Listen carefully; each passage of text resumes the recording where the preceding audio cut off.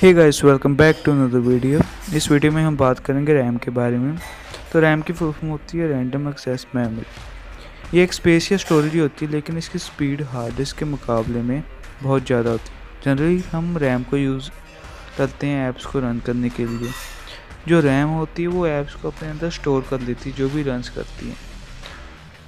Example दूँ तो जब हम काम करते हैं, जैसे किसी ऑफ़िस में, और हमारे पास छोटा सा डेस्क होता है हम जो भी फाइल्स चाहिए होती हैं, हम उन्हें स्टोर रूम से ले आते हैं। अब यहाँ स्टोर रूम हार्ड डिस्क है डेस्क रैम और हमारी बॉडी प्रोसेसर अब प्रोसेसर को स्टोर रूम से फ़ाइल लाने में ज़्यादा एफर्ट्स करने पड़ेंगे, लेकिन जब वो रैम पर यानी डेस्क पर होंगी तो हम आसानी से उसे हासिल कर सकते हैं। पीसी या स्मार्टफ़ोन में रैम का यही काम होता है। उम्मीद आप समझ गए होंगे, बल्कि रही बात हार्ड डिस्क की या रैम को कन्वर्ट करने की तो हम उसे कर सकते हैं, लेकिन वो उतना इफ़ेक्टिव नहीं होता है। जितनी रैम होती है। रैम की स्पीड बहुत ज़्यादा होती है। हार्ड डिस्क स्लो होती है, इसलिए सॉफ्टवेयर भी स्लो चलेंगे।